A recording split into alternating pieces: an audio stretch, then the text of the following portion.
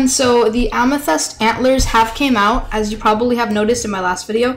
But basically, guys, it is only 250 Robux, which makes this the cheapest antlers in this sale, other than the Silverthorn. But basically, guys, um, the Amethyst Antlers, they actually look really good, and they're purple. I mean, first off, if purple is your favorite color, then you should go ahead and buy this, because, well, it's purple. But, like, guys, if you don't want to be wearing Silverthorn Antlers, because everybody wears that, then you can get amethyst antlers at the same price, and it's like four times less common. So, I mean, honestly, yeah, amethyst antlers, I would buy them if you have enough Robux. But yeah, guys, amethyst antlers, they're off sale in 23 hours, 31 minutes, 36 seconds.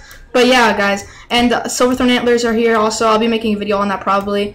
But yeah, amethyst antlers, uh, 26,000 sales, and uh, looks really cool. I like it a lot. It's uh, it's a really cool purple antler thing. So yeah, purple antlers. Peace.